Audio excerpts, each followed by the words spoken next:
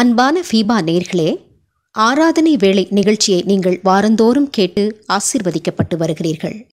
FIBA ரேடியோவின் YouTube சேனலை நீங்கள் சப்ஸ்கிரைப் செய்யவில்லை என்றால் உடனே சப்ஸ்கிரைப் செய்யுங்கள். உங்கள் நண்பர்களுக்கும் ஷேர் செய்யுங்கள். ஃபீபா நிகழ்ச்சி பற்றிய மேலான கருத்துக்களை கமெண்ட் செக்ஷனில் பதிவிடுங்கள்.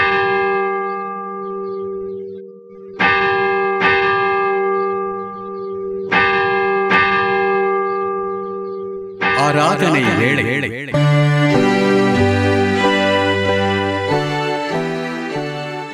எனக்கு அருமையான தேவனுடைய ஜனமே ஃபீபா ரேடியோ தயாரித்து ஒளிபரப்பும் ஆராதனை வேளை நிகழ்ச்சிக்கு நேர்களாக்கி உங்களை அன்போடு கூட வாழ்த்தி வரவேற்பதில் மகிழ்ச்சி கொள்கின்றோம். கர்த்ததாமே நம்மையும் இந்த ஓய்வு நாளையும் அளவிலாமல் ஆசீர்வதிப்பாராக. நாம் யாவரும் ஒருமனப்பட்டவர்களாக விசுவாசத்தோடு இந்த ஆராதனையிலே பங்கு கொண்டு தேவனுடைய அளவற்ற ஆசீர்வாதத்தை பெற்றுக்கொள்ள எல்லாமல்ல இறைவன் அருளையும் கிருபையும் தந்தருள்வாராக. நம்முடைய ஆரம்பம் பிதா குமாரின் பரிசுத்த ஆவியின் நாமத்தினாலே. ஆமேன். ஜெபம் செய்வோம். எங்களை நேசிக்கிற எங்கள் அன்பின் ஆண்டவரே இந்த காலை வேளைக்காக நாங்கள் உமக்கு நன்றி செலுத்துகின்றோம். இந்த பதினோராம் மாதத்தினுடைய மூன்றாவது ஓய்வு நாளை நாங்கள் காணும்படியாகும். நாங்கள் கடந்து வந்த பாதைகள் எல்லாவற்றையும் திரும்பி பார்த்து உமக்கு நன்றி செலுத்தும்படியாக அருள் தந்திரே அதற்காக நன்றி செலுத்துகின்றோம். கர்த்ததாமே எஞ்சியிருக்கின்ற நாட்களையுமாய் ஆசீர்வதித்து இதோ உம்முடைய சமூகத்திற்கு நேராக தங்கள் விண்ணப்பங்களை ஸ்தோத்திரங்களை தங்கள் தேவைகளை தெரிவிக்க இருக்கின்ற அந்த பிள்ளைகளை கண்ணோக்கி பாரு. நிகழ்ச்சியின் முடிவிலே அவர்கள் வாழ்விலே ஒரு பெரிய மாற்றத்தையும் தெய்வீக சமாதானத்தையும் ஆசீர்வாதத்தையும் நீர் தர வேண்டும் என்று சொல்லி மன்றாடுகின்றோம். விசுவாசத்தோடு கூட கேட்கின்ற எல்லாவற்றையும் நீர் அவளுக்கு தந்து பயனடத்த வேண்டும் என்று மீட்பர் இயேசு என்ற திருநாமத்திலே வேண்டி நிற்கின்றோம் பிதாவே. ஆமேன். தேவனுடைய நாமத்தை புகழ்ந்து பாடும் நாம் யாவருமாக இணைந்து கிறிஸ்து சபை பாமாலைகளிலே மெய் தேவனை துதி பேர் நன்மை செய்தார் என்ற பாடலை நாம் அனைவருமாக சேர்ந்து பாடுவோம்.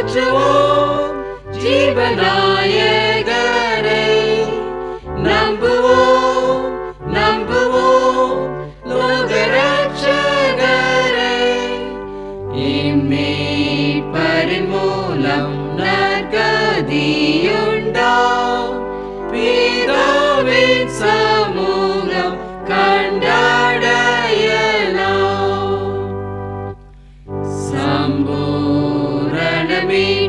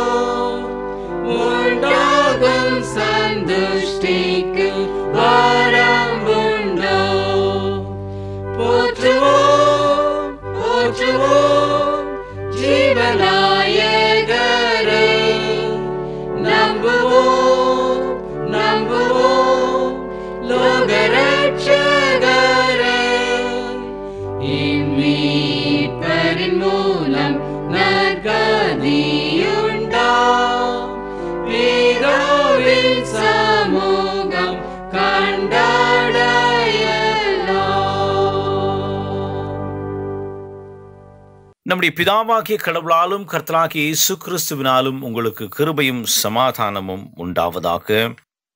நம்மை உண்டாக்கின கர்த்தருக்கு முன்பாக பணிந்து குனிந்து முழங்கால் படியிட கிடவோம். வாருங்கள். பூமியின் குடிகளே நீங்கள் எல்லோரும் கர்த்தரை கம்பீரமாய் பாடுங்கள். மகிழ்ச்சியோடு கர்த்தருக்கு ஆராதனை செய்து ஆனந்த சத்தத்தோடு அவர் சந்நிதி முன் வாருங்கள்.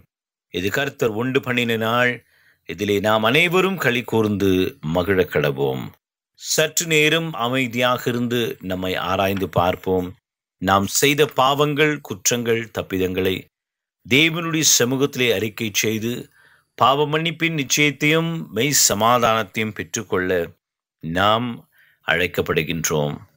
தன் பாவங்களை மறைக்கிறவர்கள் வாழ்வடை மாட்டார்கள் அவைகளை அறிக்கை செய்து விட்டுவிடுகிறவர்களோ இரக்கம் பெறுவார்கள் என்று வேதத்திலே நாம் வாசிக்கின்ற வண்ணமாக சற்று நேரம் அமைதியாக இருந்து நம்மை ஆராய்ந்து பார்ப்போம்.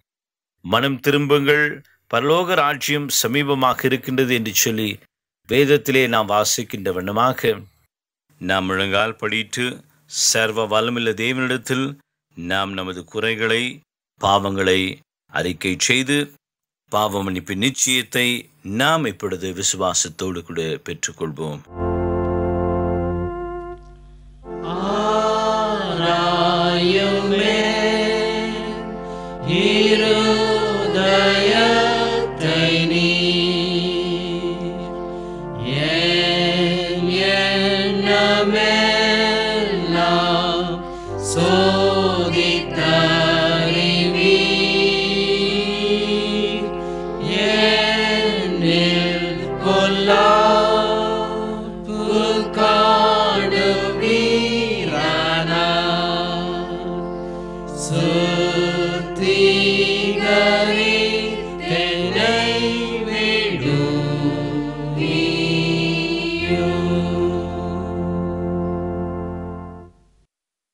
சர்வ வல்லமை மிகுந்த இறக்கமுள்ள ஆண்டவர் மன்னிப்பையும் பாவ நிவர்த்தியும் நமக்கு கட்டளையிட்டருளி. வாழ்க்கை சீர்படுத்துவதற்கான காலத்தையும் தமது பரிசுத்த ஆவியின் கிருபையும் தேற்றுதலையும் தந்தல்வாராக்கு ஆமேன். ஆண்டவரை துதியுங்கள் ஆண்டவர் நாமம் துதிக்கப்படுவதாக. இந்த நாளுக்குரிய வேத பகுதியை வாசிக்க நாம் கவனமாக கேட்போமாக்கு வாசிக்கும்படியாக தெரிந்து கொண்ட வேத பகுதி சங்கீதம் நூற்றி பதினாறாம் அதிகாரம் பனிரெண்டாம் வசனம் முதல் பதினான்காம் வசனம் முடிய சங்கீதம். நூற்றி பதினாறு வசனங்கள் பனிரெண்டு முதல் பதினான்கு முடிய. கர்த்தர் எனக்கு செய்த எல்லா உபகாரங்களுக்காகவும் அவருக்கு எண்ணத்தை செலுத்துவேன். ரட்சிப்பின் பாத்திரத்தை எடுத்துக்கொண்டு கர்த்தருடைய நாமத்தை தொழுது கொள்வேன். நான் கர்த்தருக்கு செய்த பொருத்தனைகளை அவருடைய ஜனங்கள் எல்லாருக்கும் முன்பாகவும் செலுத்துவேன். தேவனுக்கே மகிமை உண்டாவதாக. ஆமேன். மீண்டும் ருசியாக தேவனுடைய நாமத்தை புகழ்ந்து பாடுவனுமாக கிறிஸ்தவ கீர்த்தனைகளிலே பக்தருடன் பாடுவேன் பரமசபை முக்தர் குழம் கூடுவேன் என்ற பாடலை கரங்களை தட்டி நாம் உற்சாகமாய் பாடுவோமாக்கு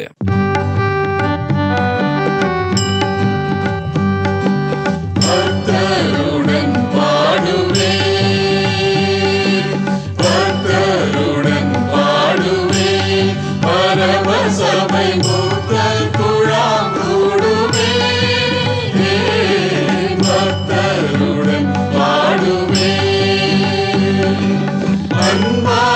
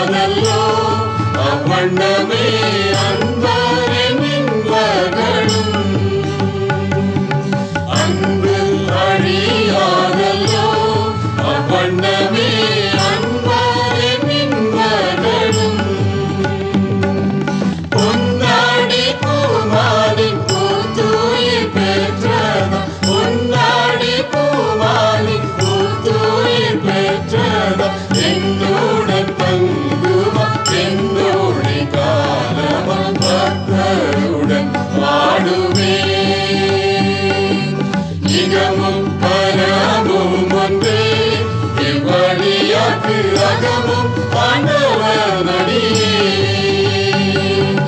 இகமும் பரமும் ஒன்றே. இவ்வடியாக்கு அகமும் ஆண்டவனடியே சுகமும் நல்வமும் சூற்றமும் ஊற்றமும் சுகமும் நல்வமும் சூற்றமும் மூற்றமும் இகலில் வரட்சகன் வாழுவே தாயின்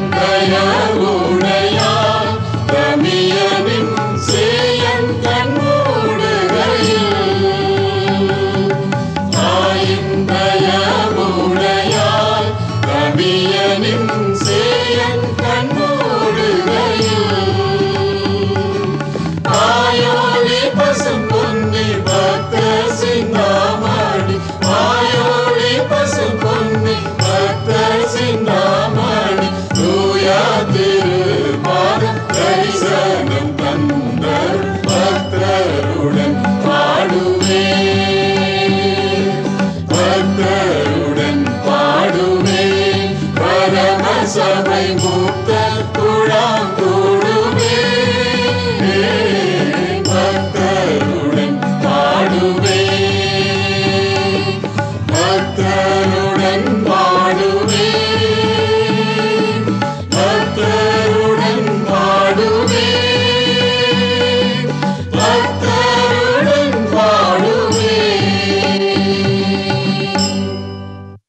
எனக்கு அருமையான தேவனுடைய ஜனமே இந்த நாளிலே ஆண்டவருடைய செய்தியை நம்மோடு கூட பகிர்ந்து கொள்ளும்படியாக வந்திருப்பவர் கோவா மாநிலத்தில் இருக்கின்ற மெத்தடிஸ்ட் திருச்சபையினுடைய போதகராக பணியாற்றி வருகின்ற அருள் திரு டேவிட் லிவிங்ஸ்டன் ஐயா அவர்கள். அருள் திரு டேவிட் லிவிங்ஸ்டன் ஐயா அவர்கள் ஆண்டவருடைய செய்தியை இப்பொழுது நம்மோடு கூட பகிர்ந்து கொள்கின்றார். ஜெபத்தோடு கூட ஆண்டவருடைய செய்தியை நாம் பெற்று தேவனுடைய ஆசீர்வாதத்தை நாம் பெற்றுக்கொள்வோம். கிறிஸ்துவுக்குள் அன்பான ஃபீபா ரேடியோவின் ஆராதனை வேளை நேயர்களுக்கு எனது வாழ்த்துக்களை நான் தெரிவித்துக் கொள்கின்றேன். இந்த நாளிலே ஸ்தோத்திர பண்டிகையை குறித்து நாம் தியானிக்க இருக்கின்றோம். ஊரடங்குக்கு பின்பதாக அநேக இடங்களிலே சபை திறக்கப்பட்டிருக்கின்றது. கர்த்தருக்கு ஸ்தோத்திரம். சில இடங்களிலே ஸ்தோத்திர பண்டிகை அல்லது அறுவடை பண்டிகை கொண்டாடப்படுகிறது. கர்த்தருக்கு காணிக்கைகளை நன்றியோடு படைக்கும் ஒரு பண்டிகை. ஒருவேளை கேட்கலாம் இப்படிப்பட்ட காலத்தில் இப்படி ஒரு பண்டிகை தேவைதானா? வருஷத்திற்கு ஒரு முறை கண்டிப்பாக இப்படி ஒரு அறுவடை பண்டிகை அல்லது ஸ்தோத்திர பண்டிகை தேவைதானா? என்று உங்களுக்குள்ளே ஒரு கேள்வி எழுந்தால் நிச்சயமாக அது தேவை. இந்த நடைமுறை ஆலயத்திலே நமக்கு ஆண்டவரால் கொடுக்கப்பட்டிருக்கின்றது என்று நான் சொல்ல முடியும். ஏனென்றால் கர்த்தருக்கு தங்களுடைய காணிக்கைகளை மனமு வந்து ஆண்டவருடைய பிள்ளைகள் கொண்டு வந்தார்கள். ஆண்டவர் அதை அங்கீகரித்து அவருடைய நன்றி பலிகளை ஏற்றுக்கொண்டு இதை சபையில் பின்பற்றுங்கள் என்று நமக்கு கற்றுத் தந்திருக்கின்றார். வருடத்திலே ஒரு முறை நாம் இப்படியாக காணிக்கைகளை கொண்டு வரும்போது ஆண்டவர் நம்மை உலக பிரகாரமாக அநேக விதங்களிலே ஆசீர்வதிக்கிறார் என்பதை நாம் நினைவு கூர்ந்து அவருக்கு நன்றி செலுத்துகின்றோம். அந்த உணர்வை வருடம் முழுவதும் நாம் பகிர்ந்து கொள்ளுகின்றோம். ஒவ்வொரு முறை அவருடைய சமூகத்திலே வரும்போதும் அதை நினைவு கூர்ந்து நாம் அவருடைய சந்நிதியிலே துதிகளோடும் காணிக்கைகளோடும் பிரவேசிக்க பழகி கொள்கின்றோம். நம்முடைய பிள்ளைகளுக்கு கற்றுக் கொடுக்கின்றோம். இப்படியாக ஆண்டவருக்கு காணிக்கை கொடுப்பது நாம் எந்த அளவுக்கு கர்த்தருக்கு கணக்கு ஒப்புவிக்கிறோம் நன்றி உள்ளவர்களாக வாழுகிறோம் எப்படி அவரை நாம் நினைக்கிறோம் என்பதையே நமக்கு கற்றுத்தருகின்றது. ஆகையினால்தான் இந்த நடைமுறை அவசியம். ஆனால் இப்படிப்பட்ட காணிக்கைகளை நாம் கொண்டு வரும்போது ஆண்டவர் அதை அங்கீகரிக்கிறாரா இல்லையா என்பதையும் நாம் மனதிலே வைத்துக் கொள்ள வேண்டும். ஏனென்றால் ஆண்டவர் சில காணிக்கைகளை அங்கீகரியாமலும் போக முடியும் என்று வேதத்திலே நாம் வாசிக்கின்றோம். அப்படி என்றால் ஆண்டவர் எப்படிப்பட்ட காணிக்கைகளை அங்கீகரிக்கிறார் என்பதை ஒரு சில வசனங்கள் வழியாக நாம் தியானிக்கலாம். சங்கீதம் நூற்றி பதினாறாம் அதிகாரத்திலே பன்னிரெண்டாம் வசனத்திலே தாவிது அரசன் இப்படி சொல்கிறார் கர்த்தர் எனக்கு செய்த எல்லா உபகாரங்களுக்காகவும் அவருக்கு எண்ணத்தை செலுத்துவேன். ரட்சிப்பின் பாத்திரத்தை எடுத்துக்கொண்டு கர்த்தருடைய நாமத்தை தொழுது கொள்ளுவேன் என்கிறார். ஆண்டவர் எனக்கு செய்த எல்லா உபகாரங்களுக்காகவும் அவருக்கு எண்ணத்தை செலுத்துவேன் என்று அவர் யோசித்து பார்த்து தடுமாறுவது ஏன்? அவருக்கு அநேக பலன் இருக்கின்றன. அவருக்கு அநேக காரியங்கள் ஆண்டவருக்கு காரியங்கை செலுத்தும்படியாக இருக்கின்றன. அவர் ஒரு அரசன். அவரிடத்தில் பொன் உண்டு பொருள் உண்டு மக்கள் உண்டு. அவர் நினைத்தது ஆணையிடுவது எல்லாம் கிடைக்கும். அப்படியென்றால் அநேக காரியங்களை ஆண்டவருக்கு அவர் செலுத்தலாமே. இங்கே ஏன் எண்ணத்தை செலுத்துவேன் என்று தடுமாறுகிறார் என்றால் அவர் ஆண்டவருக்கு அநேக காரியங்களை செலுத்தி பழகியவர். ஆனால் அதையும் தாண்டி இன்னும் சிறப்பானது ஏதோ ஒன்று இருக்கின்றது என்பதை அவர் உணர்கிறார். அந்த உணர்வின் வழியாக பத் பதிமூன்றாம் வசனத்திலே பார்க்கிற வண்ணம் ரட்சிப்பின் பாத்திரத்தை எடுத்துக்கொண்டு கர்த்தருடைய நாமத்தை தொழுது கொள்வேன் என்பதை சொல்லுகிறார்.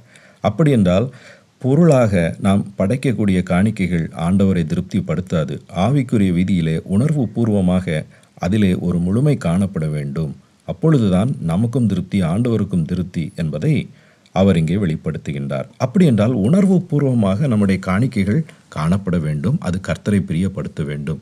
எவ்விதமான உணர்வுகளெல்லாம் நம்முடைய காணிக்கைகளே காணப்பட வேண்டும். முதலாவதாக தியாக உணர்வு காணப்பட வேண்டும். சங்கீதக்காரன் அவருடைய காணிக்கைகளிலே தியாக உணர்வை அவர் கலந்து ஆண்டவரிடத்திலே படைக்கிறார். அப்பொழுதுதான் அங்கே ஒரு நிறைவு ஏற்படுகிறது என்பதை அவரே நமக்கு விளக்கி காட்டுகிறார். சங்கீதம் ஐம்பத்தி ஒன்றாம் வசனத்திலே அவர் பாவ மன்னிப்பு பெறுவதற்காக சொல்லக்கூடிய வார்த்தைகளை பாருங்கள். பதினாறாம் வசனத்திலே பலியை நீர் விரும்புகிறதில்லை விரும்பினால் செலுத்துவேன். தகன பலியும் உமக்கு பிரியமானதல்ல. தேவனுக்கு ஏற்கும் பலிகள் நொறுங்குண்ட ஆவிதான். தேவனை நொறுங்குண்டதும் நறுங்குண்டதுமான இருதயத்தை நீர் புறக்கணியீர். அங்கே ஆண்டவருக்காக தியாக பலியை செலுத்தும்போது ஒரு ஆட்டுக்குட்டியை பலி செலுத்தி தகன பலியாக ஆண்டவருக்கு நான் செலுத்தும்போது அது ஆண்டவருக்கு விருப்பம் ஆகாது என்பதை சொல்லுகிறார். பின்பு தேவனுக்கு ஏற்கும் பலிகள் நொறுங்குண்ட ஆவிதான் தேவனை நொறுங்குண்டதும் நறுங்குண்டதுமான இருதயத்தை நீர் புறக்கணியீர் என்று சொல்லுகிறார். அப்படி என்றால் தியாகம் என்னுடைய ஆவியிலே ஏற்பட வேண்டும்.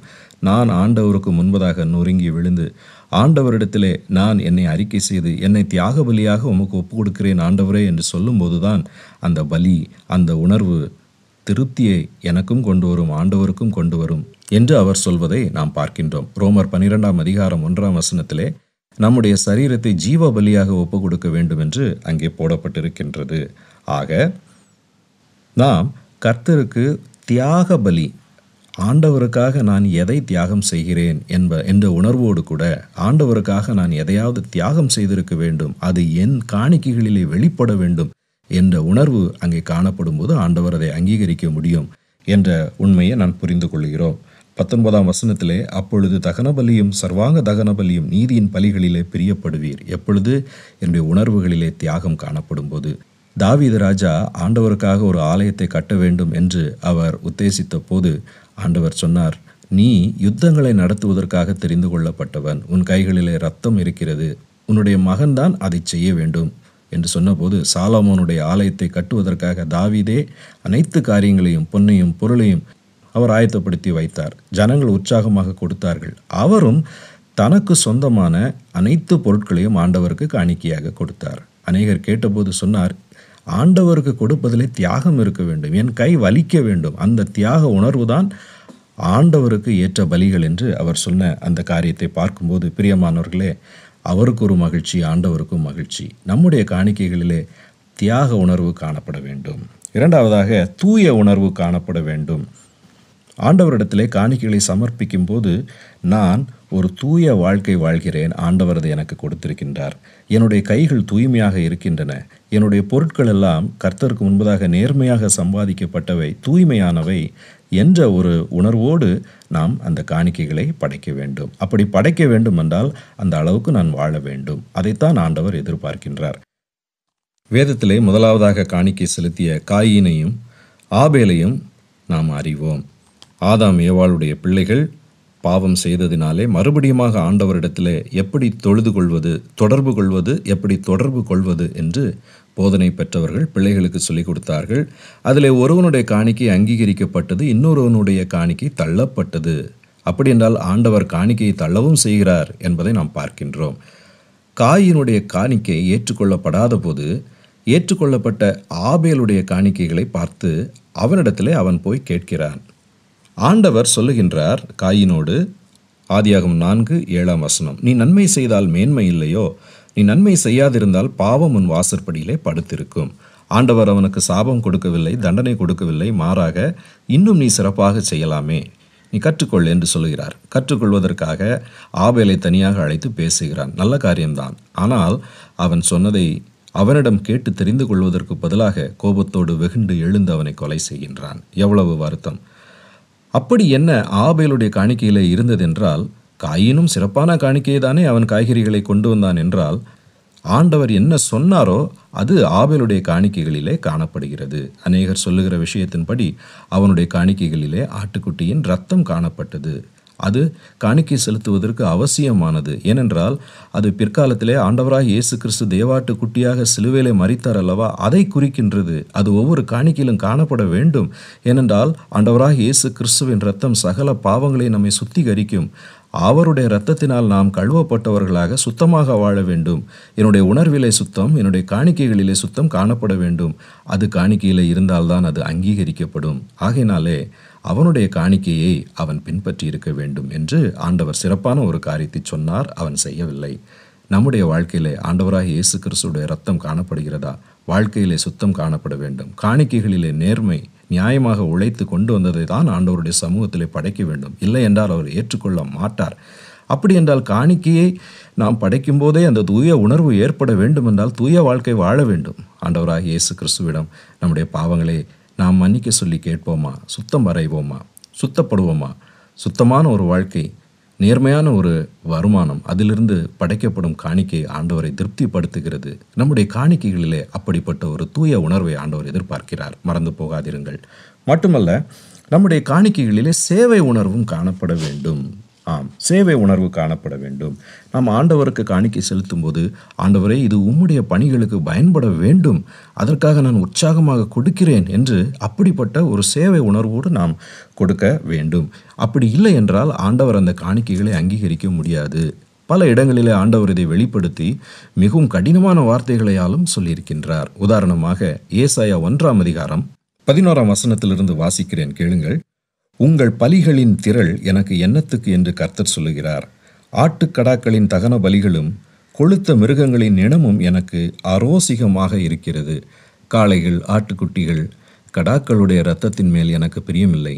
நீங்கள் என் சந்நிதியிலே வரும்போது என் பிரகாரங்களை இப்படி மிதிக்க வேண்டும் என்று உங்களிடத்திலே கேட்டது யார்? இனி வீண் காணிக்கைகளை கொண்டு வர வேண்டாம்.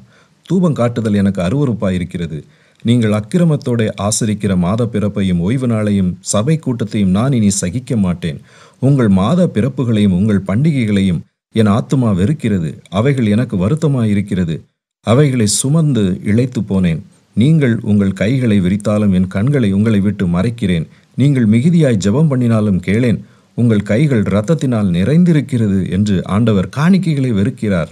பின்பு எந்த காணிக்கை அங்கீகரிக்கிறேன் என்று சொல்லுகிறார். பதினாறு பதினேழு வசனங்களிலே உங்களை கழுவி சுத்திகரியுங்கள். உங்கள் கிரியைகளின் பொல்லாப்பையின் கண்களுக்கு மறைவாக அகற்றிவிட்டு தீமை செய்தலை விட்டு ஓயுங்கள். நன்மை செய்ய படியுங்கள். நியாயத்தை தேடுங்கள். ஒடுக்கப்பட்டவனை ஆதரித்து திக்கற்ற பிள்ளையின் நியாயத்தையும் விதவையின் வழக்கையும் விசாரியுங்கள். ஆக பிரியமானவர்களை இன்று காணிக்கைகளை நாம் கொண்டு வரும்போது ஆண்டவருடைய சேவைக்கு அது பயன்பட வேண்டும் என்பதை புரிந்து கொள்ள வேண்டும். அந்த உணர்வு காணப்பட வேண்டும். ஒருவேளை நீங்கள் கேட்கலாம் ஐயா இன்னைக்கு காணிக்கைகளை பார்க்கும்போது நான் செலுத்துகிற காணிக்கையை சரியாக பயன்படுத்துகிறார்களா இல்லையா என்றே தெரியவில்லை என்று அநேகர் கேட்கிறார்கள். இதனால் ஒன்று சபைக்கு கொடுக்க வேண்டிய காணிக்கைகளை நிறுத்தி விடுகிறார்கள்.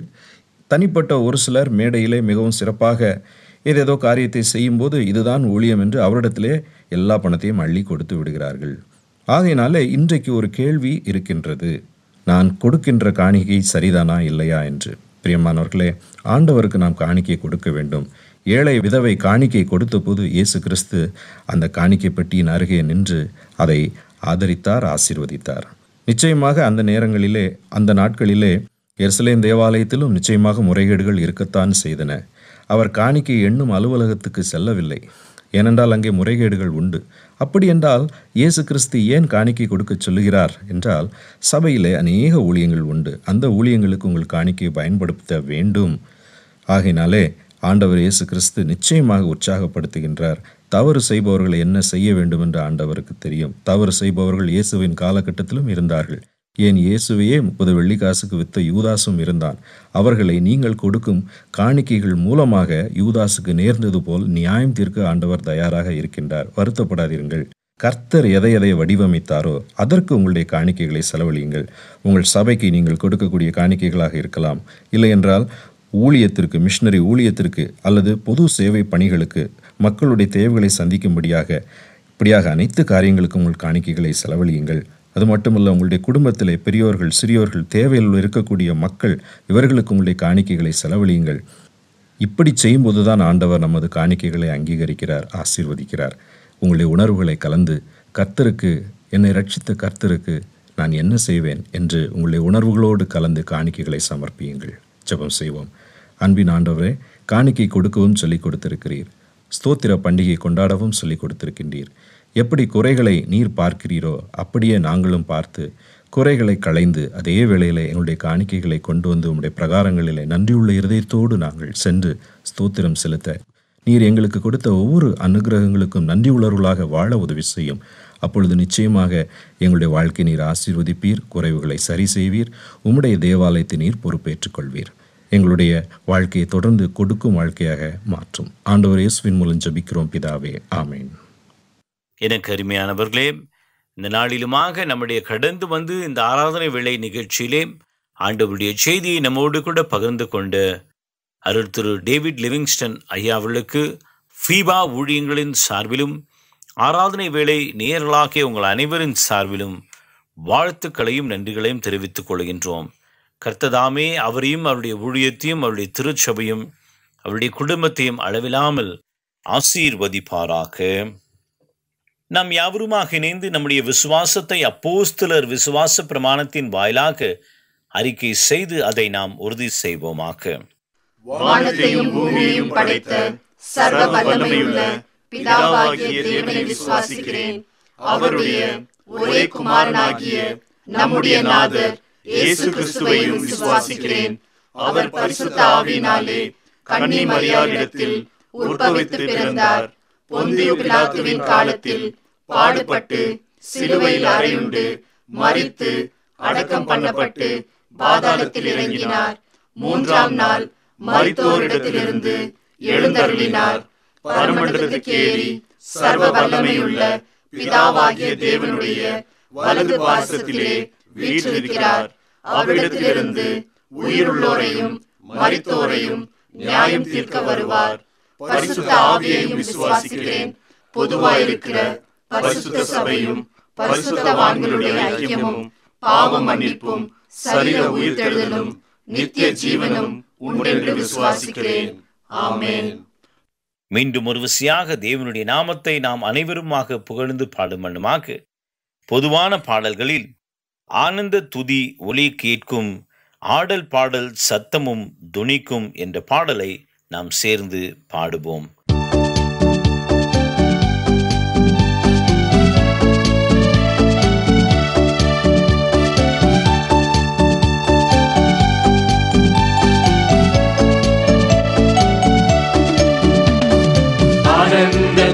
ஒலி கேட்கும். ஆடல் பாடல் சத்தமும் தொனிக்கும். ஆகாய விண்ணினாய் அவர் ஜனம் பெருகும். ஆண்டவர் வாக்கு பலிக்கும். அல்லேலூயா ஆகாய விண்ணினாய் அவர் ஜனம் பெருகும். ஆண்டவர் வாக்கு பலிக்கும். மகிமை படுத்துவேன் என்றாரே. மகிமனின் பாசம் பெரிதே.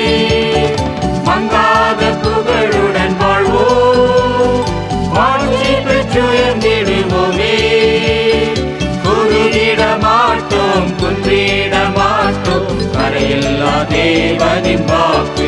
அல்லேலூயா குறுகிட மாட்டோம் குன்றிட மாட்டோம் கரையில்லா தேவனின் வாக்கு.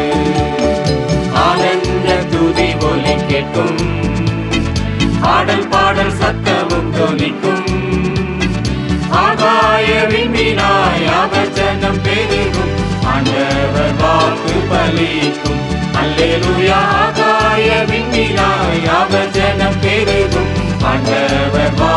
பலிக்கும் ஆறாத காயங்கள் ஆறும் ஆரோக்கியம் வாழ்வினில் மூடும். ஆத்மீய தேற்றும் நல்லாத ஊற்றிய பாதம் தரிப்போ அநாதி தேவன் அழைக்கலம் பாரில். அநாதையாவதே இல்லை.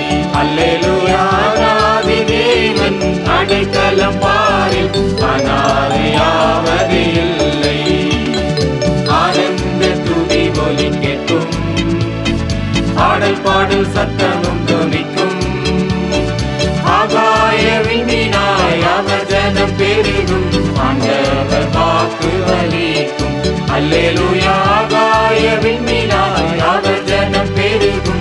ஆண்டவர் வாக்கு பலிக்கும் தேவன் நம் தேவன் வேலை பாக்கியம்.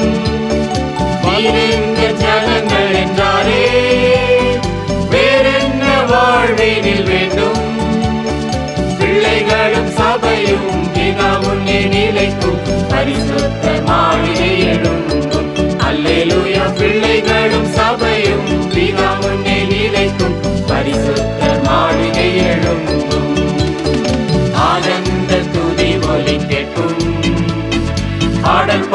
சத்தமும்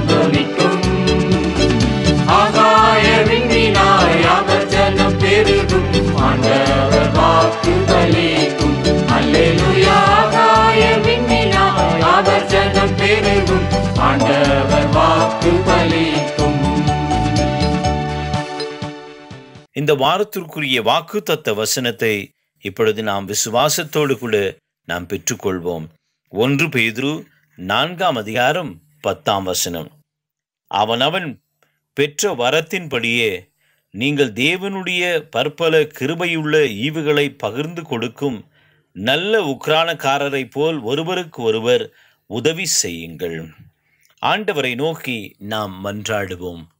எங்களை அதிகமாய் நேசிக்கிற எங்கள் அன்பின் ஆண்டவரே இந்த பதினோராவது மாதத்தினுடைய மூன்றாவது ஓய்வு நாளிலும் இந்த ஆராதனை வேலை நிகழ்ச்சியின் மூலமாக உடைய வார்த்தைகளை கேட்க எங்களுக்கு நீர் தயவு பாராட்டினீர் அதற்காக நன்றி செலுத்துகின்றோம்.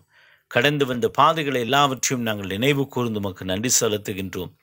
விசேஷித்த வண்ணமாக இந்த வாதையின் காலத்திலும் நீர் உமது பிள்ளைகளை நினைத்தருளி அவர்களை இம்மட்டுமாக உம்முடைய செட்டையின் மறைவிலே பாதுகாத்து பராமரித்து ஆசீர்வதித்து வருகிற கிருபைக்காக நன்றி செலுத்துகின்றோம்.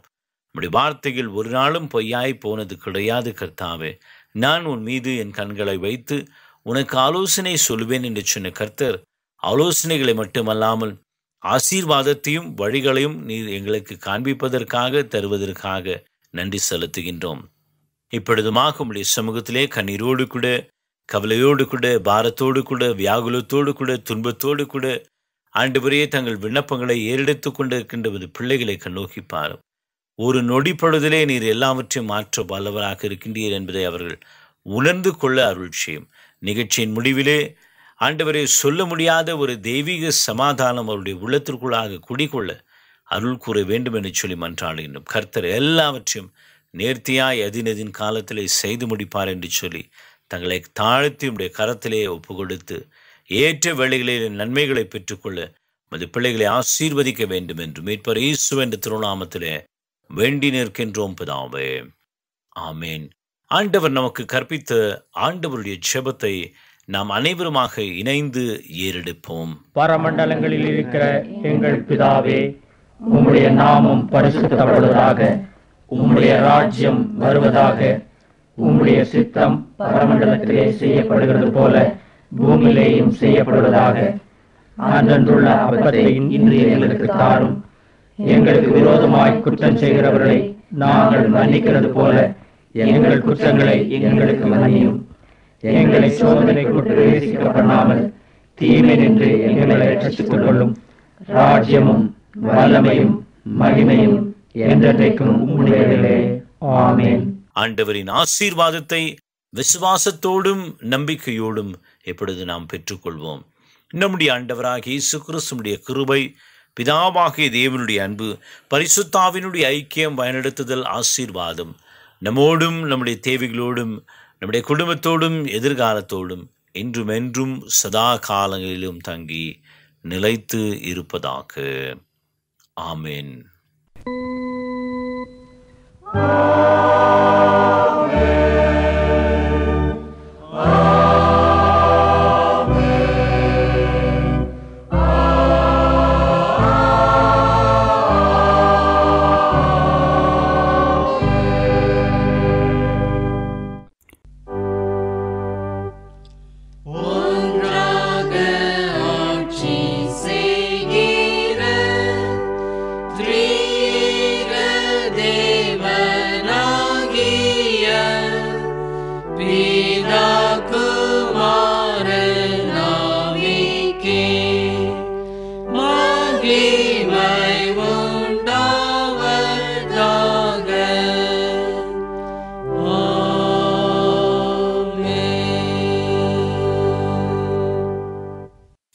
பிரியமானவர்களே இந்த ஆராதனை வேளை நிகழ்ச்சியிலே பங்கு கொண்ட அன்பு நேயர்களாகிய உங்கள் அனைவருக்கும் ஃபீபா வானொலி நிலையத்தின் சார்பிலும் எங்கள் அனைவரின் சார்பிலும் உள்ளமார்ந்த நன்றிகளையும் வாழ்த்துக்களையும் தெரிவித்துக் கொள்கின்றோம்.